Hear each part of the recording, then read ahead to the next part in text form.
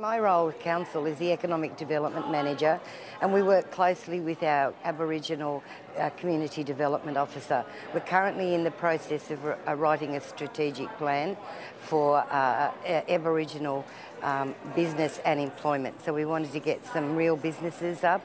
We got together with a whole group of um, uh, uh, educators, uh, placement people, and interested other interested organisations in the community, and we formed what we called our Aboriginal community.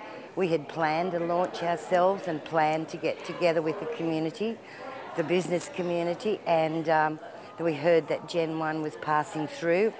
So um, Rob, our Aboriginal uh, Development Officer, rang up Gen 1 and said, hey, we're doing this how about we join forces? And um, I think this morning was an absolutely beautiful thing, and I think that there were lots of people out there who uh, were are really committed to wanting to do something, but they just don't know how. And this morning gave them a pathway. Oh, I think it's absolutely crucial that we that we uh, that we have these very strong role models, and of course, with our uh, achieving sports people or in the arts or any of that is a, is a wonderful, wonderful thing. But it's also important that we that we harness our local role models and uh, and uh, elevate them and give them exposure so that the uh, the youth can see well, you know I can achieve in all sorts of areas. I think it's really important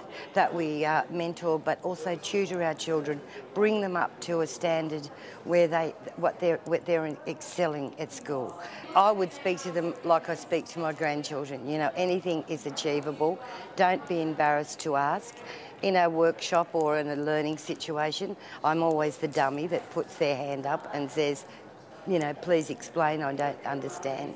And giving them the confidence and the encouragement through having people there who will listen to them, not just talk at them, but listen to them and um, giving them and drawing them out. It's very, very important that they find a voice in the community, and the first way to do that is to find a voice for themselves.